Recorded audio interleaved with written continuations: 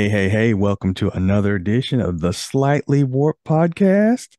I'm Rick, joined as always by Big Show. Show. How you doing, my man? I'm living. I'm surviving. Trying to keep up with that water challenge. Hey, props to you.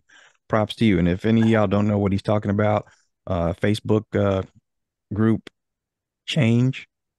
We are getting healthy this year. A new challenge every month. This first challenge in January is the water challenge. Simple challenges too, by the way. Drink more water. Stay healthy. You can't beat it. Stay Join hydrated, change. my friends. So, um, this episode is all about one thing and one thing only the National Football League.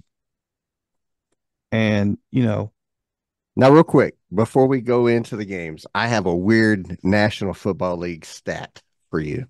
okay, I heard it today a couple hours ago and I wanted to share.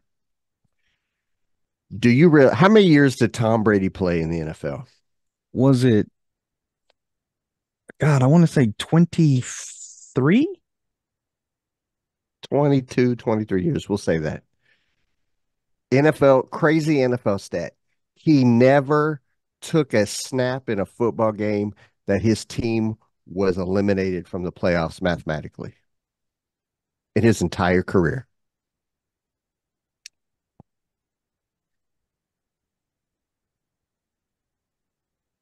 Say that again. I want that to sink in.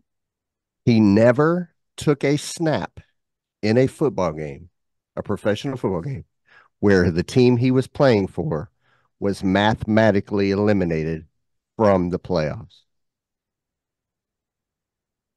That doesn't every sound right. year every year that he started and took a snap from that uh for his career his team was never mathematically eliminated from the playoffs That's right. Because the year they sucked, he got injured. Okay. Okay. it was a weird crazy stat that i'm like wow you're you're right even in his last year with tampa bay because they lost round i mean they were never mathematically eliminated I have a crazy stat for you. what's that Have you noticed in in these playoffs for this year, this is the first time in 20 some odd years that a Manning or a Brady has not been in the playoffs. Yeah for the last 18 years i think it was something like that Mm-hmm. yeah It's crazy. Neither one of those actually played a game played a game this year. This is the first year ever that neither one of them has took a snap. And uh not being But, funny. pro- but props to Brady. I mean, because Manning retired back in 15. yeah. Peyton. When did Eli retire? Eli, It was after- retired two years ago, wasn't it? I say it was after Peyton, wasn't it? Yeah, it was after. Because um Daniel Jones has been the starter for two years. Dang, starting football for two years and get the bank. That'd be awesome. Must be nice. All right. Must be.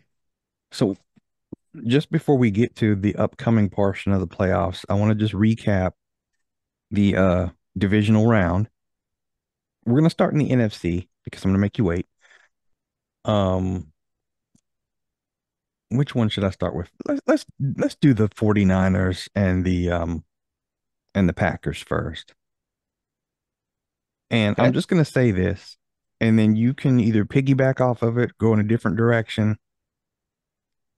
That was Green Bay's game to lose, and they did. Um, yeah.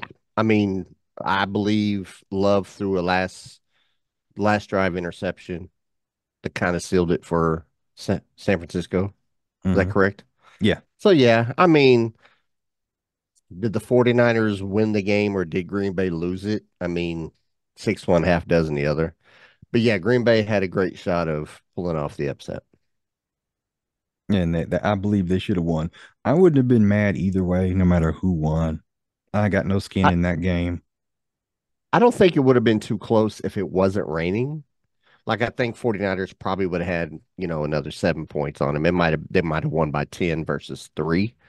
Uh, I think the weather did contribute to slowing it. And then Deebo getting hurt, obviously. Uh, but Yeah. yeah, they were very uh very evenly matched, I think. Um, and Green Bay kind of put the what they call it, the blueprint on how to play them. hmm So yeah, All right, now Lions and the uh, Buccaneers. I don't think this game was as close as the score uh, uh, had it. I think the Lions kept them in it because it seemed like at times they were playing it safe instead of doing what they needed to do. But they finally ended up pulling away. again because Baker threw interception at the end um that kind of sealed it. I mean, they were going back and forth for a minute. You know, Detroit would score, Tampa would score, Detroit would score, Tampa would score. I think um, I, I believe it was just before halftime. Baker was like rolling to the right, and as he was falling, he threw the ball down. hmm Um, re replay shows his calf was down before he released the ball, so technically it should have been a sack. You know, the Lions should have challenged that, but the very next play, Tampa Bay scored the touchdown on the swing pa- on the uh, swing pass to uh, or screen pass to the running back. So, uh, you know, if they would have challenged that, probably that score wouldn't have happened, and then you know it might have not has been as close. But I think, um, yeah, I mean, I can't disagree. I, I think both teams kind of played it too safe, and then to the end, the Tampa Bay started pressing, and then you know Detroit took care of business. The uh, divisional round, you had the uh, uh, almost called them the Jaguars. I'm sorry, folks.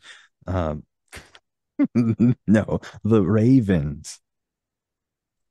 Do you think that they genuinely had trouble for that first half, or they were overlooking the opponent, already thinking they were in the AFC Championship game? No, I generally think that uh DeMeco Ryan, uh, De, DeMar, Demi, Yeah, DeMarco Ryan, DeMeco that Ryan. name? Yeah, he's coach of the Texans. He he had a he had a great game plan for Baltimore, and and you know Lamar didn't win with his arm in that game. He he ran. You know Yeah. his legs is what is what the difference was. Um, I think the game was just a little bit too big for that young group of of the Houston Texans, and you know I, J John. No, what's Joe Harbaugh? John, What's the John Harbaugh. the Jim is the one from Michigan that's going to be coaching the Chargers. Yeah. Okay, J John Harbaugh. Uh, he, I mean, he's go- he's going to be a Hall of Fame coach. So they made one hell of a, you know, good adjustments at halftime, and then just basically walked away with it. Okay. Now I'm gonna get to I, I don't final. think I don't I don't think that the Texans had enough bricks in their shorts to hang with them. I'm gonna get to that final game in a second, but I want to talk about the other three losers in the divisional round: the Texans, the Packers, and the Buccaneers. And this is my theory. I'm probably wrong about it, but this is just the way I feel about it because of the way they played and could have won those games. I feel that they were very happy to be in the position that they were at, but the common denominator with their opponents was their opponents all wanted to get to the next step a lot, a lot more than they did. And I could be Um, reaching.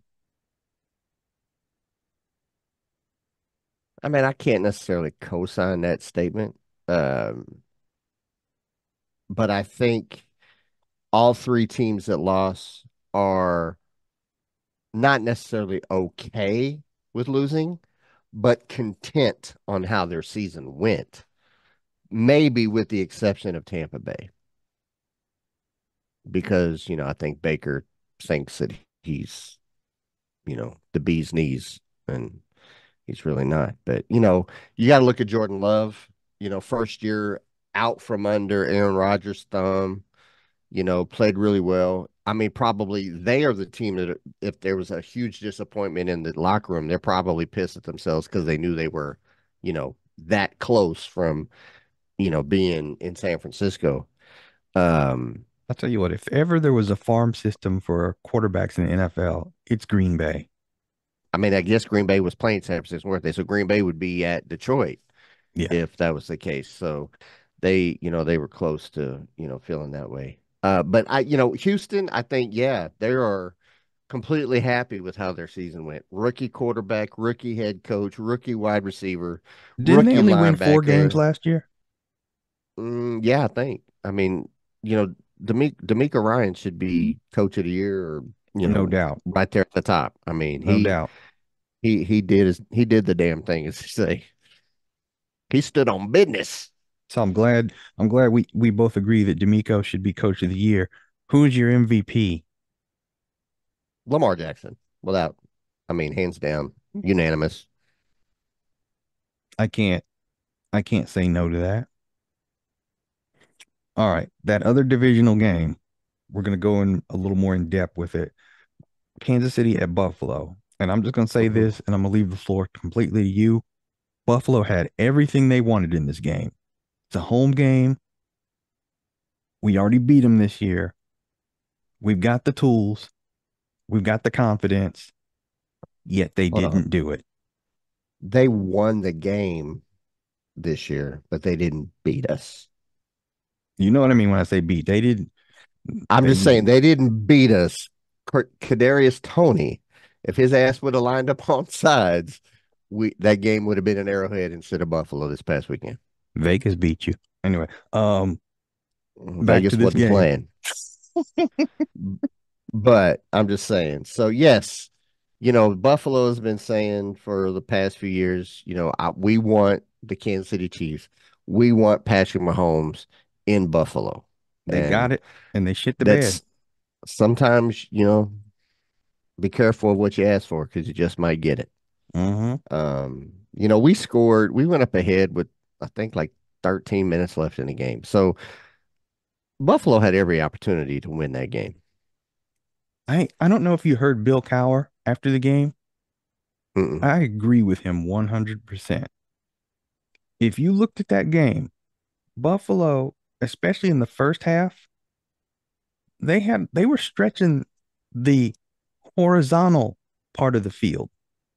You know, from sideline to sideline, those long plays, and they were they were doing damage to Kansas City. But when Spags figured it out, oh my God, they couldn't do any of that in the second half. And they had no vertical game. They had no Yeah, long plays. Yeah, their vertical game was trash, and our and I, you know our defensive backs are are, are pretty top tier. Them young cats are pretty good. Um, I, I I'll give it to Buffalo. They came in with a hell of an offensive scheme with the extra offensive linemen to help block for the running game, and you know they just pretty much just pushed through our defensive line like a hot knife through butter. I mean, they just they just ran us over the entire first half. But once we made them basically one dimensional, which is you're you're not going to run no more. You're you're not going to run no more. That's when the game changed. And you know, Cook couldn't couldn't gain 2 yards, you know. And then in the win, you know, uh Allen couldn't couldn't hit a parked car. I mean, it was just it was just it was fun to watch. I think mean, Allen did the most he could with what he had. He had a couple I mean- receivers out, didn't he? he had one, Gabe Davis, Gabe Davis, Um, okay. who who you know in the 13 second game was the one that had like a hundred thousand yards and five million touchdowns against us uh, in that game. Uh, but you know, and yes, he had some receivers that uh, you know dropped some passes. I don't feel bad because as a Chiefs fan, we've been dealing that bullshit all year long. You know, I Now- was very excited to see MVS make a couple catches. I was actually shocked. I was like, wow, you know, he's got enough glue on his gloves. I like that. You know, keep it up. Uh, but Allen did make some serious mistakes. Um, Yeah. and I think that's where the difference between Mahomes and Allen is. You know, Two Allen is always stood out, not involving either quarterback, but other players to me.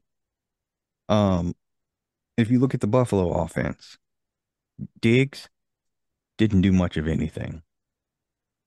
And if you look at Why Kansas? City's offense, Pacheco showed out again. right. But why didn't Diggs do anything? Well, didn't you have um what's his name on him? Um Exactly. L'Jarius Sneed. yeah, Sneed, thank you. Yeah, that that up until that coffin corner touchdown catch hadn't given up a touchdown all year long. Right. That was his that was his first touchdown he gave up. I mean, but you know, he shut down Tyreek Hill the week before. I mean, he's been shutting the number one receiver down since week one. You know, and and if you go back to when we played them here in Arrowhead, Diggs didn't have a big game either. Cook was the main guy. Um, and then you also have to look at how well our defense played. You know, we lost Willie Gay in the first drive, and we lost Mike Edwards in the first drive, our safety and our middle linebacker. Now, will any of Oh. those injuries affect this week? I'm not for sure. The only one I've heard about is Joe Thuney, who's our left guard. I believe he strained his pec muscle. So no tear, was just strained. So it it you know, if he's out, that could be troublesome against that Ravens defense. Um, but I want to go back to the quarterbacks real quick Okay. because I owe John Elway and his whole legacy an apology. Because a few weeks ago, I said that Josh Allen is basically the modern day version of John Elway. Mm. And if you look at it, you could say yes. But I, I, you know, John Elway in his younger years actually took the Broncos to Super Bowls, even though they lost and they got their their brains kicked in. He still got them there. Josh has only been to one AFC championship game his entire career. He's lost the last two division games at home. Uh, I think last year he lost to the Bengals. This year he lost to us. Um, so I, I'm going to remove him and say he no longer reminds me of John Elway. The perfect example of who Josh Allen is is Philip Rivers. Why did I know you were going to say that? I just And and I you know, can't unsee that now. Philip is the epitome of you know great arm, good quarterback. You would love to have him on your team, but when you have to make the play, when the plays matter, you cannot do it. You can't. And that was the difference between Mahomes and Allen. When Mahomes had to make a play, plays were made. When Allen had to make a play, he shit the bed. Can't unsee that Philip Rivers reference because I think it's spot on. Yeah. Um, you know, I go back to that last. Uh, I think it was just before the field goal attempt that, again, sorry, Buffalo fans went wide right. Uh, the uh, you know, he threw it to uh, I, I forget who whoever his wide receiver was in the end zone, and Mhm. it skipped it. You know, he had Stefon Diggs wide open in the cross. That probably would have gained another eight nine yards, got a first down. Yeah, the they clock showed that. more. You know, I, He was looking to make the big play instead of a Yeah. play. those decisions are what's are the difference between winning and losing. Josh Allen is a phenomenal quarterback. He's just not a championship quarterback. Will he ever get a championship? I don't know. I do also think that Buffalo Bills are cursed when it comes to Patrick Mahomes. 2017, we traded the farm to Buffalo for the number 10 pick to draft Patrick Mahomes. Mm, I did not know that. The very next year, they draft Josh Allen. If they would have kept their number 10 pick and drafted uh, Patrick Mahomes, you know, history would have been different. But I think we traded number one and a number two, and the following year's number one to Buffalo in 2017 to move up in the 2017 draft to move up to the 10th spot and uh, drafted Mahomes. Interesting. And then he sat that year till the very last game and then started in 2018. Rest is history. All right, it's uh championship week. NFC championship. since the Niners are the top dog, they are hosting the Lions. Do you who let's start there. Who are you going with? The Niners or the Lions? I think this game is closer than people actually give it credit. You know, I, I, I think what are they like? Can you look up the point spread if you haven't already? I think it's like they're seven or eight point favorites over the Lions. Let's see if they have that on our good friends at NFL.com. Let's go to championship week here. And no, we don't want the mock draft. Leave us alone with that.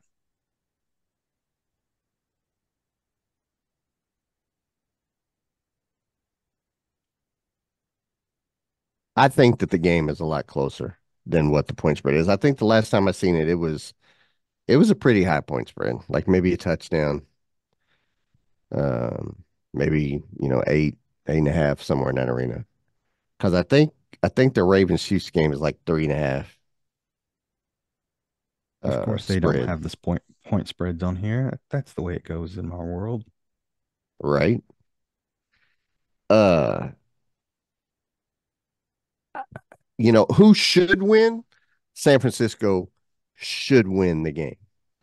My gut tells me to say San Francisco's going to win. My football heart and my football eyes say look out for Detroit.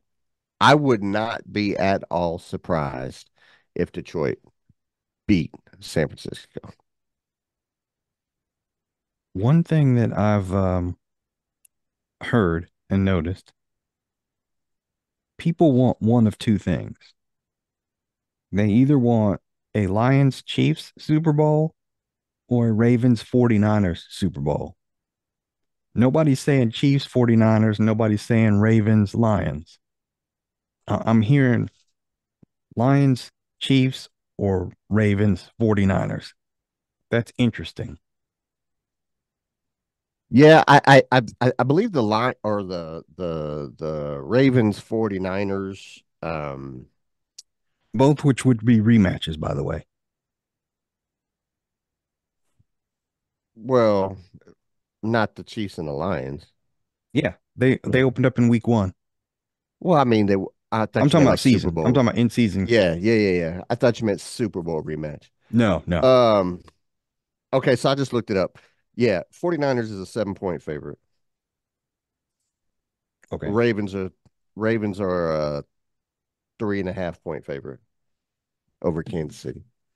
Um now, my heart wants to go with the Lions, but my head says the Niners are going to win that game.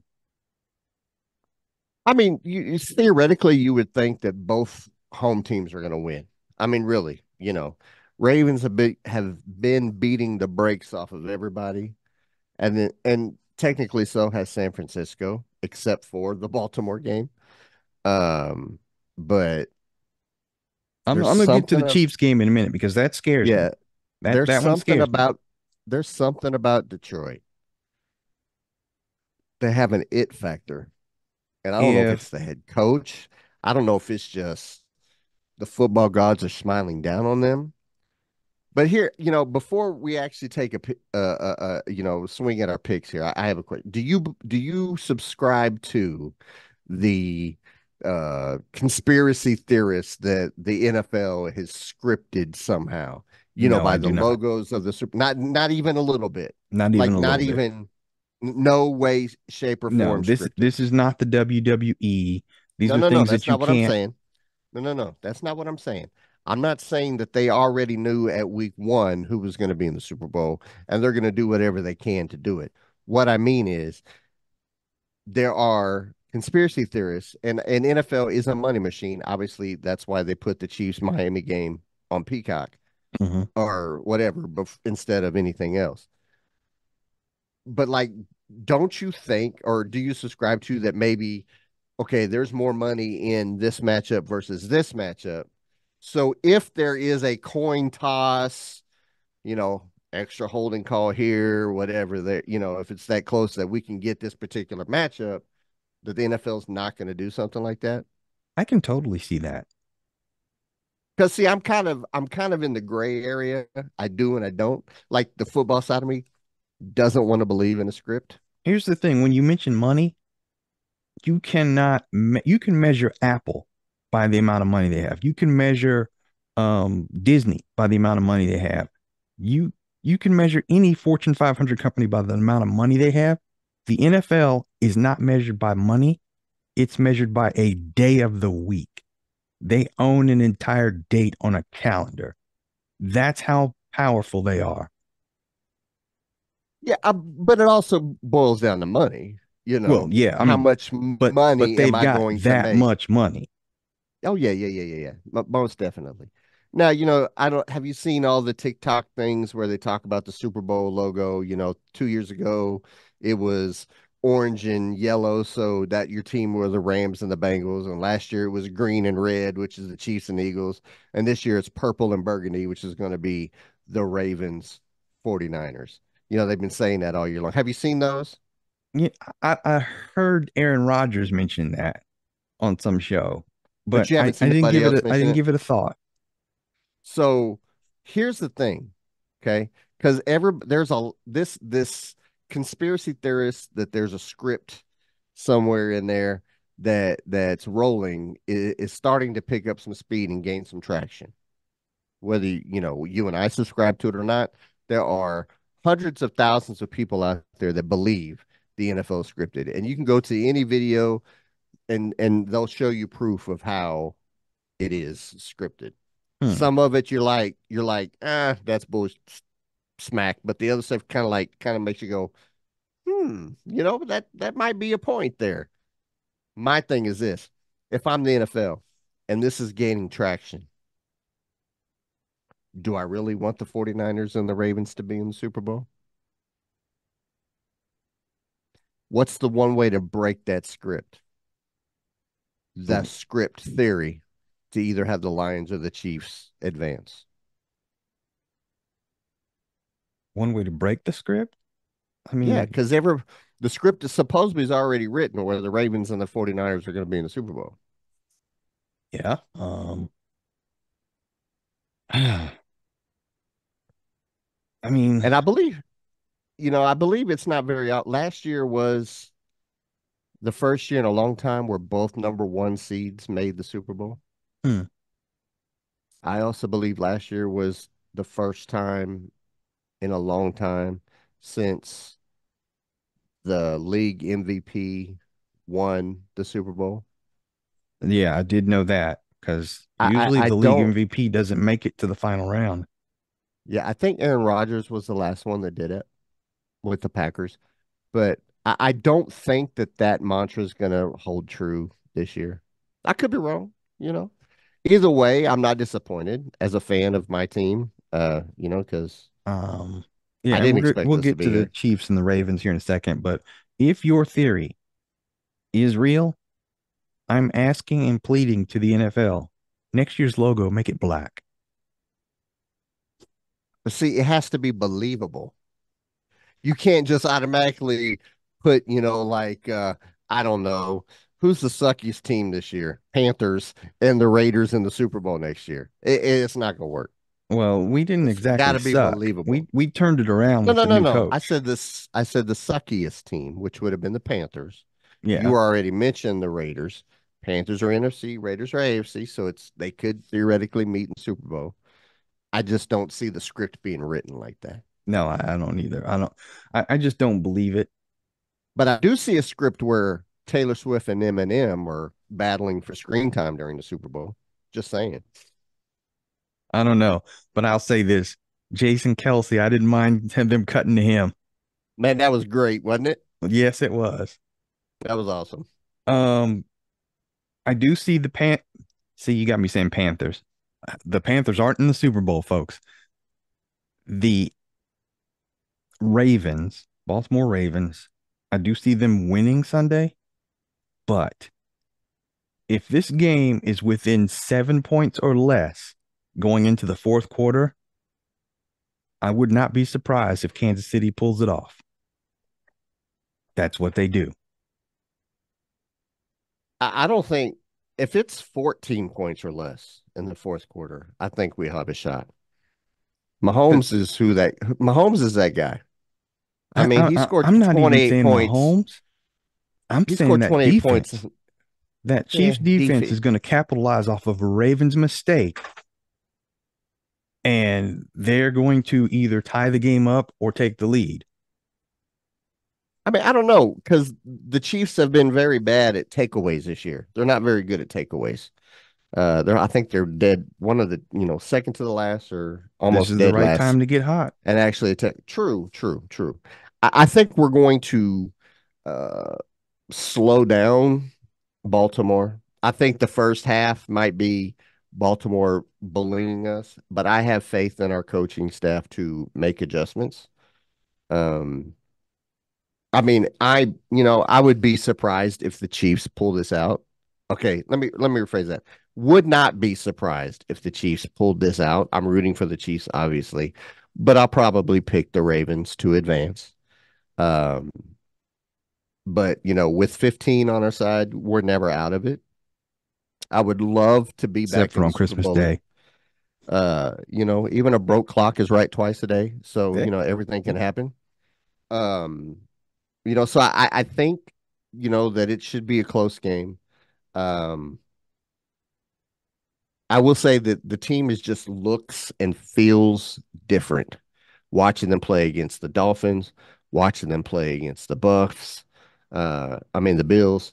Um, this should be a tough one. And you know what? Ravens have only Balt or uh, Lamar's only beaten Patrick Mahomes once. So I think I think he, Mahomes is three and one against against Lamar. And he's one and one in Baltimore against them. If you look so, at the I Chiefs, mean, if if their losses, the only way to beat them, you've got your defense has to take chances and they have to go after him. And I don't mean I don't I'm gonna be honest. The only team he'll kill a blitz. Team, the only team that beat us this year was the Raiders. Everybody else that won was because of something that we did untimely interception, untimely penalty, drop pass, dropped pass. You know, we weren't beaten by anybody. The Raiders beat the brakes off us. Like we we weren't even paying them any attention. It was just we kind of overlooked them. Like we could throw our helmets out there and we just it was a W just because we showed up. well, you got to admit, we, we were sitting there saying, "Hey, if the Broncos can do it." True. I mean, but you know, and I don't even. Yeah, the Broncos beat us by more than one touchdown, but Patrick Mahomes had the flu. You know, a lot of a lot of guys were sick. So I mean, okay, if you want to throw that in there, great. I mean, they were due. We beat them 16 in a row. You know, we beat them solidly for eight years. They were due one, you know. Yeah. Uh so I'm not worried about Baltimore just coming in and making it a 34 to 10 game. I don't see that. No, I mean we I haven't either. we haven't given up over 24 points all year long. Well, that that brings me 24 to, is the max that we've that we've given up. Okay, we're gonna wind this down, but that brings me to the point where we look at the camera we honestly say what we feel, we're going points. AFC Championship first. Score. I got Ravens. Oh, I, me. I got the Ravens 33, Chiefs 27. You want to do a side bet? Because there's no way Baltimore's scoring 30 points on us. No way. No What's our bet? What's our bet? I don't know. Whatever you say. 20 bucks? Oh. Sure, why not? There's no way they're going to score 30 points on us. No way. I could see 28 to 20. I could see 27, 24. I think the most that they might get is 26, 27 points, maybe 28. They might score four touchdowns on us. I'm standing 30. by 33 to 27. So what do you got? Um, 28 to 27, Baltimore. Mm, you got a close one. Oh, yeah, it's going to be close. Sounds like Justin Tucker's going to be involved in that. Same with Butker. Yeah. NFC Championship game, Niners, Lions. I'm going to say Niners.